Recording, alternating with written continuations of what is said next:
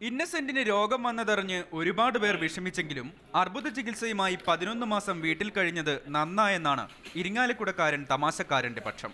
ഈ സോളാറിന്റെ പ്രശ്നങ്ങളൊക്കെ വന്നു കഴിഞ്ഞാൽ ഞാൻ ഓടി നോക്കി നോക്കി എന്റെ സോളാർ ആരാ വെച്ചെന്നുള്ളത്. അപ്പോൾ ഇപ്പം അത് കുഴപ്പമില്ല.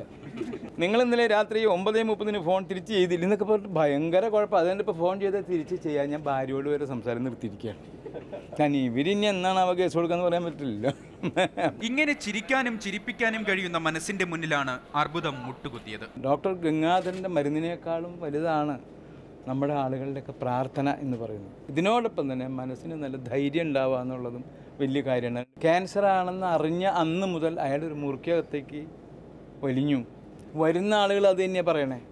ഇനി ഉള്ള സമയം ഈശ്വരനെ ധ്യാനിച്ച് അങ്ങോട്ട് പൊക്കോളൂ. എവിടേക്ക് പോകണു നമ്മളൊന്നും പോലില്ല അങ്ങനെ പെട്ടെന്നൊന്നും.